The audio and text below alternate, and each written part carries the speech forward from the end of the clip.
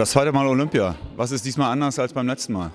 Ich denke, jetzt haben wir ganz andere Voraussetzungen. Die Schlitten sollten dieses Jahr laufen und ja, wir können eigentlich erstmal ganz entspannt morgen da anreisen und machen dann unser Ding. Waren es in Sochi nur die Schlitten?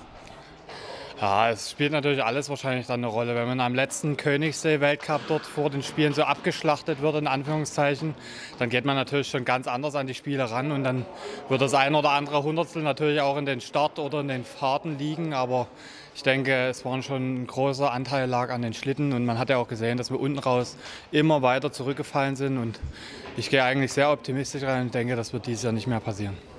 Die Saison lässt einiges hoffen. Was wäre ein gutes Ergebnis und wo würdest du sagen, holt mich lieber nicht anschließend vom Flughafen ab? Naja, bei uns hat so der richtige Sieg so, hat dieses Jahr eigentlich immer gefehlt. Wir waren immer Zweiter, Dritter, waren zweimal oben im Zweier, aber das Jahr davor waren wir fünfmal im Zweier ganz oben. Also es ist schon bisschen verrückt. Die anderen sind alle richtig gut dieses Jahr, aber zum Höhepunkt, denke ich, können wir uns noch mal ein bisschen steigern und da hoffen wir, dass es dann, ja, dass wir auf jeden Fall mit einer Medaille nach Hause kommen, am besten mit zwei und dann schauen wir mal, welche Farbe die haben am Endeffekt.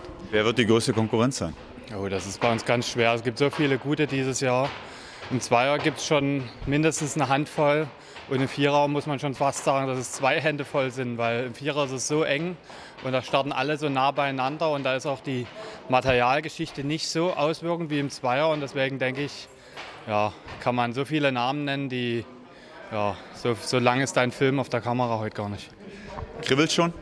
Nee, bis jetzt noch nicht. Morgen ist Anreise, denke ich mal, dann kommt so das erste olympische Gefühl auf, sage ich jetzt einfach.